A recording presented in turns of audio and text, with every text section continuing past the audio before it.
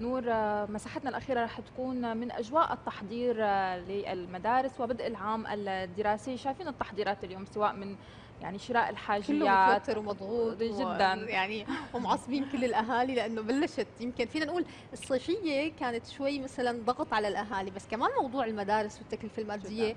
كمان ضغط إضافي لكل الأهالي صحيح عم نحكي عن تكلفة مادية وفي عندنا تهيئة نفسية اليوم للطلاب ليرجعوا موضوع. وللمعلمين. وأيضا كنا عندنا الجانب الغذائي اليوم بنعرف قديش عملية الدراسة اليوم مرتبطة بالغذاء السليم دائما نقول العقل السليم بالجسم السليم وبالغذاء السليم خلينا نربطها. ودائما أصلا بالتحضيرات بتلاقي الأم خصوصا الأطفال عم تجهز ال- اللانش بوكس يعني إنه شو بدها تطعمي طفلة وفي أولاد بيعذبوا يعني بهذا الموضوع رح كل الأولاد بحسب كل الأولاد بيعذبوا الأكل. رح نحكي عن موضوع اليوم آه، التحضير للعام الدراسي وعلاقته بالغذاء. كيف ممكن كمان آه، نحضر أطفالنا؟ ورح نحكي هاي التفاصيل آه، أكيد مع ضيفتنا بالاستديو سعد صباحك واهلا وسهلا فيكي. صباح النور صباح معنا. أخصائية تغذية بوسينة أهلا وسهلا فيكي. أهلا فيكم صباح الخير. أكيد بدنا نقول لك آه، أخصائية التغذية بوسينة محمد يسعد صباحك وأهلا وسهلا فيكي. هلأ موضوع سابقا كان أريح للأهالي يعني الغذاء يعني قبل أهالينا بيقولوا لنا يعني ما كان في هذا التطور والتكنولوجيا. كان الأولاد ما يعذبوا بالأكل وما كان في تكلفة مادية. يعني. الأم ممكن فيها مثل ما قلنا تعمل الأكلات اللي بدها إياها. اليوم صح. صار فينا نقول الغذاء سيف ذو حدين يعني أنت تمام. بدك تعطي ابنك أغذية سليمة صحية لأنه نحن مثلا مرتبط الزعتر ب- بطفولتنا لأنه صح. الزعتر فيه سمسم وفيه مواد كثير مهمة تمام. لتنشيط الذاكرة لهيك مرتبط بالطفولة اليوم الموضوع مختلف مع تطور العصر مع التكلفة المادية الكبيرة واساسا غذاء الطفل يعني بدك تطعميه كمان الطفل نقاه يعني بياكل هي ما. بياكل هي بيعذب أهالي. بالبداية خلينا نحكي عن السنوات الأولى. يعني لما نقول بدنا نحضر الطفل من ثلاث سنين لخمس سنين ليدخل الروضة كمان بيكون غذائه مختلف عن الطفل ما فوق. الست سنوات والعشر سنوات. تمام. آه هاي المرحلة العمرية كتير حساسة. آه الطفل بهاي المرحلة من ثلاث سنوات لخمس سنوات عنده نمو آه معدل النمو كبير. صحيح. يعني آه بيكبر آه بيزداد بالوزن بشكل أسرع الطول بشكل أسرع آه عنده جهاز المناعة لسه عم عم يتكون ولسه بده تقوية آه وهذا الشيء كله بالغذاء. بهي بهذا العمر بنركز على يعني أنا عندي جسم عم ينبنى يعني أركز على كل شيء بيبني الجسم. آه، مثلا بالنسبة لل ل... آه، وكمان حتى كمان الاسنان ما بتكون لسه آه، اكتملت صحيح يعني. نمو كامل. فأنا بركز هون على الكالسيوم. مم. تمام. آه، آه، اللي موجود بالحليب وبالبيض طبعا الحليب يعني آه، غذاء آه، رئيسي وأساسي. لازم يضل مرافق الطفل لست سنوات وحتى بعد. مم. بس أقصى يعني يعني المفروض مو أقل من ست سنوات. كل يوم كل يوم يكون في عندي كأس آه، آه، من ال- الحليب. آه، بهاي الفترة العمرية بيحتاج كمان ل آه، آه، كمان الدم عنده عم عم يعني فقر الدم م- معرض الطفل انه يصاب بفقر الدم، لذلك أنا كمان بدي اركز على الأطعمة اللي بتحوي على الحديد، على الحديث صحيح. السبانغ، البروكلي، الورقيات الخضراء كلها جرجير، تمام؟ آه، وطبعا غالبا الأطفال ما بيحبوا هي. فأنا عند في كل أم عندها أسلوب بترغب طفلها بهاي ال- الأكلات. تحط بأطباق ملونة مثلا آه، تشبهه بشخصيات كرتونية مثلا.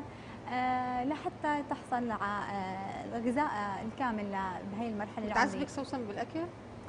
أكيد. بنوتك سوسن عمرها ثلاث سنين معنا بالاستديو بدنا نقول لها هاي.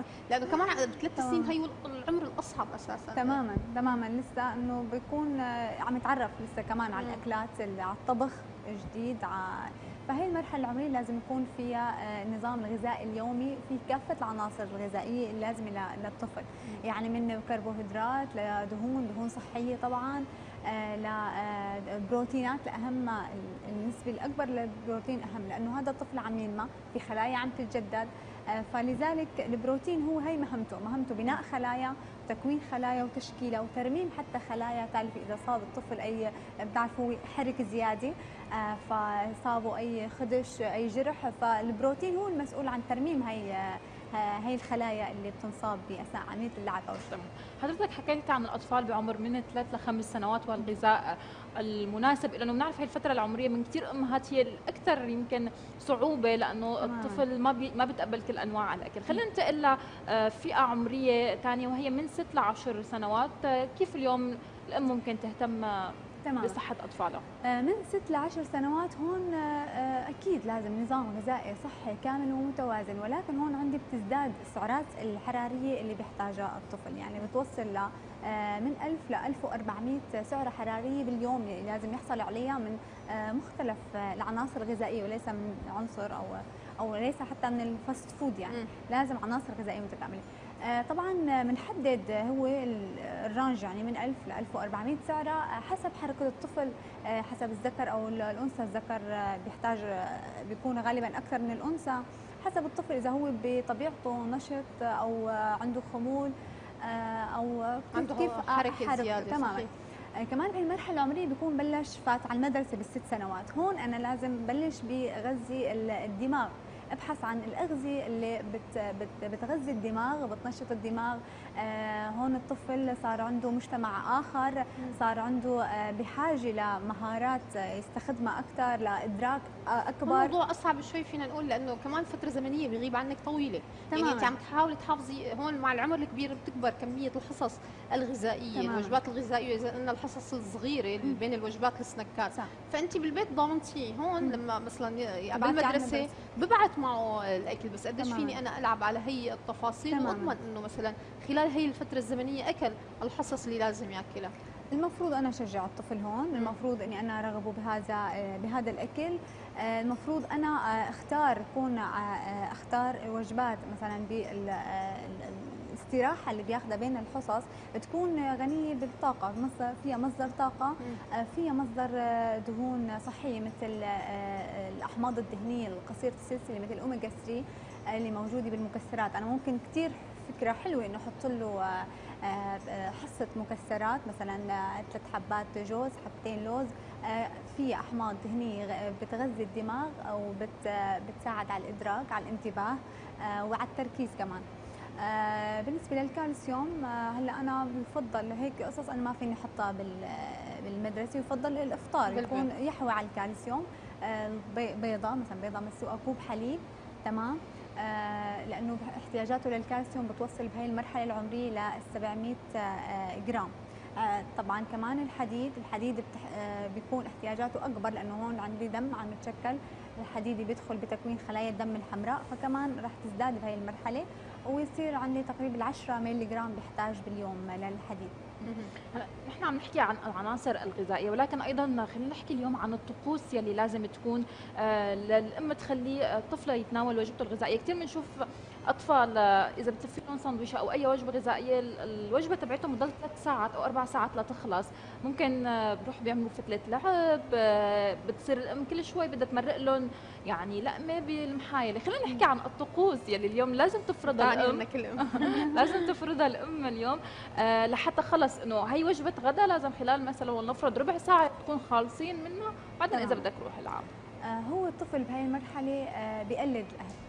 شو الأهل اللي بيعملوه كيف الأهل بيتصرفوا هو عم يقلدهم فنحن آه، يعني الأم يعني المثال الحي آه، قدامه تصرفنا الصح التزامنا بوجبات بساعات مثلا معينة كل يوم اجتماع الأسرة كلها على سفرة. آه هذا كله بيساعد الطفل على الالتزام إنه يصير مثل أهله. آه، يأكل ينوع بالأكلات يرغب آه، طفله بالأكلات بإنه آه، مثل ما حكينا شبهها إنه مثلا ساندريلا بتأكل هيك تمام. هيك قصص. بيحب الأولاد هي القصص تماما كثير الأطباق الملونة خليه يجرب ياكل لحاله معلش. هدول كلهم بيساعدوا الطفل إنه يحب الأكل. والأهل أهل شو ما هو مقلد يعني المقلد الصغير هذا إجباري بالبيت. فيقلد أهله بكل يعني نحن المثال الحي قدامهم. فهو آه، حسب عاداتنا حسب تصرفنا هو رح طب إذا عندهم هذا السلوك والأم بدها تغير هذا السلوك الفوضوي بتناول وجبات الطعام للطفل كيف ممكن تبلش معهم؟ يعني شو هي الخطوات اللي ممكن تمشي فيها لتقدر تضبط جو تناول الطعام عند الطفل؟ آه، هلا مثل ما حكينا إنه هلا الأطفال عادة بيحبوا الجمع الجمعه فهون أنا مثلا أو ممكن خلي أنا أطفال يأكلوا معه آه، رفقاته آه، أطفال أشخاص هو بيحبهم. خلي الجو الأكل أو فترة الأكل محببة. شو بيحب مثلا خلال هاي الفترة؟ أنا احاول أدخلها بساعه الأكل يعني عرفتي كيف؟ أو نحدد له الوجبة إنه انت خلال ربع ساعة لازم تماما لازم لأنه بعدها مثلا بدنا بعدها رح نروح مشوار رح نلعب رح فهو خلص رح إنه يلتزم يلتزم يصير عنده التزام أكثر تجاه هاي طيب حكينا معك عن الوجبات الغذائية المهمة لكل طفل وكل عمر. خلينا نحكي عن الأعمار ما فوق العشر سنوات. يعني نحن عم نقول مع عملية نمو جسم الطفل تختلف تمام. عدد السعرات الحرارية. لما نقول فوق ال 12 تقريبا فينا نقول شب يعني طفل فتي. يعني السعرات الحرارية بتكون أعلى مختلفة الحصص الغذائية أكبر تمام. الوجبات الغذائية وحسب فترات النوم أقل. يعني نحن بنقسم فترات تمام. الغذاء أعلى فترات آه، النهار اللي بيكون هو موجود فيها. تماما. بهي المرحلة العمرية من 12 وما فوق آه، ببلش عندي سن المراهقة ببلش البلوغ.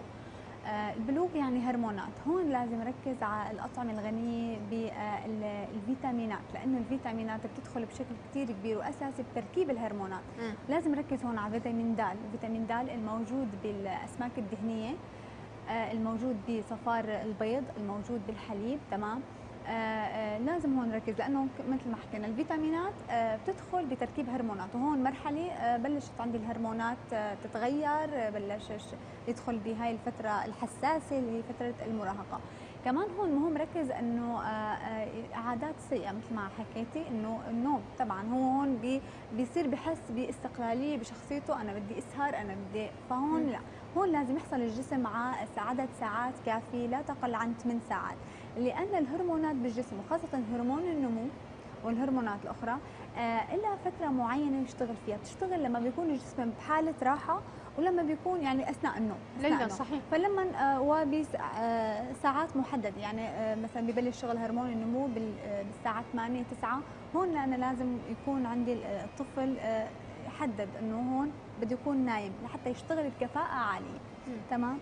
آه بس هي النقطة بيركزوا عليها كثير مثلا بمرحلة فينا نقول المراهقة والنمو لأنه في عندك آه اختلاف بالهرمونات وخربطة بالهرمونات والطول. يعني دائما بيقولوا لك في أغذية بهي الفترة مثلا بتساعد على النمو والطول لأنه عم نشوف بالعشر سنوات الأخيرة الجيل عم يكون منه طويل القامة. يعني صح. عم يكون مختلف عن الجيل فينا نقول قبل عشر سنوات. فدائما بنتابع بعض الأخصائيين التغذية بيقولوا لك بهي الفترة في بعض الأكلات كثير مهم يتناولها لأنه بتساعد على عدم إغلاق المفاصل. يعني بيكون في عندك مدة محددة لتقدر عملية النمو تكون فينا أكبر آه، فترة زمنية ممكنة. تمام. هلا عندك من من الأطعمة أي شيء بيحوي على كالسيوم ولكن لازم آه، يترافق فيتامين د لأنه فيتامين د بيثبت لي الكالسيوم بالعظم. لما راح يكون عندي وارد كالسيوم كافي ووارد فيتامين د غير كافي أو بالعكس ما راح أنا أحصل على آه، النمو الطولي المناسب آه، للعظم. لذلك أنا هون مثلا الأطعمة اللي فيها كالسيوم السمسم مثلا السمسم الحلاوة كمان هي مستخرجه من السمسم آه، كمان الاكلات البيض آه، والحليب هدول كثير بنركز عليهم لأنه آه، كثير نسبة الكالسيوم فيهم عالية الزبادي اللبن تمام.